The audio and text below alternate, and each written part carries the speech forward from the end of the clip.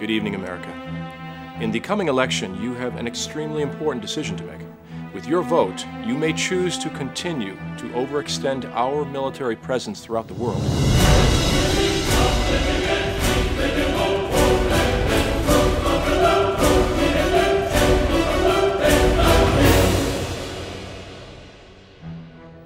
Or choose to utilize American resources to fix problems here. Vote for me, and I will bring our servicemen and women home. Home to a better, stronger America. An America that will again be respected.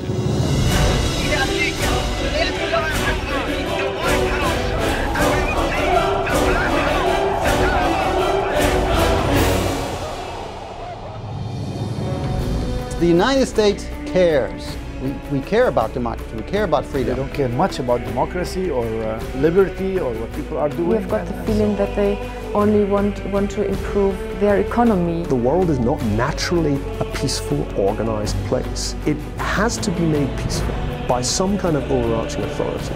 And my great fear is that if the United States opts out, maybe nobody will opt in. Our greatest resource isn't our money, it is the lives of the men and women of the American Armed Forces. How many more American lives must be lost because of our interference in the internal affairs of other countries? The expectation of the people of Bosnia and Croatia was that someone strong will come and save them. This is a globalized economy. So you can't sit there and say, oh, you guys have got problems. We can avoid it. We can't because oil is an international market. We invade sovereign nations. We topple governments. We manipulate economies because they don't serve our needs. And because we are the one and only military superpower, who is going to challenge us?